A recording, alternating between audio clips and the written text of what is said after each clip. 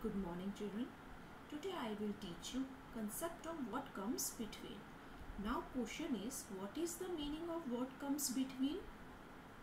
What क्या आ, comes आता है between बीच में क्या आता है बीच में This is one. This is three. Now what comes between these two numbers?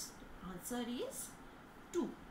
The right answer is 2 as you can see in the picture first one is cap cap number is 6 second one is bun bun number is 7 third one is hat hat number is 8 now children you tell me what will come between picture 6 and picture 8 so the right answer is 7 right answer is 7.